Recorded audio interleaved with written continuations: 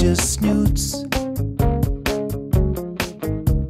Snooter don't care Meus amores, bom dia, tudo bom com vocês? Olha, eu tô aqui na praia de Genipabu, vai ficar um pouquinho de som de vento aqui, ó, onde foi gravada então aqui a novela de Cor do Caribe aqui, ó, em Genipabu, aqui em Natal. Eu vou mostrar pra vocês aqui rapidinho, porque nós viemos só dar uma passada também.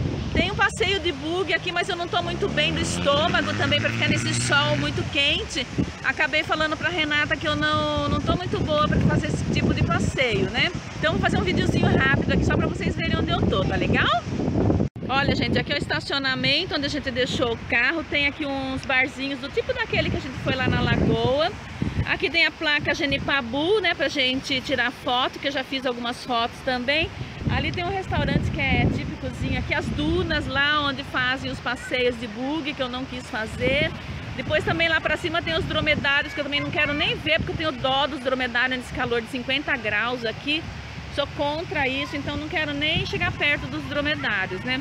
Maravilhosa praia, ó, ali é bem rasinho, tem pessoas ali tomando banho.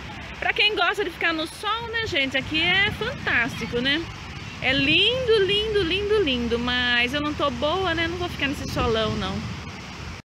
Olha, gente, aquele ali, ó, é o famoso Bar 21 de Genipabu. Deve ser gostoso lá, né? Mas a gente vai para um outro lugar agora que a gente já foi passear, que eu gostei mais, que foi a Lagoa. Então agora hoje vou deixar vocês aqui só com a imagem aqui da entrada mesmo de Genipabu. E quem sabe antes de eu ir embora eu volte aqui de novo, tá?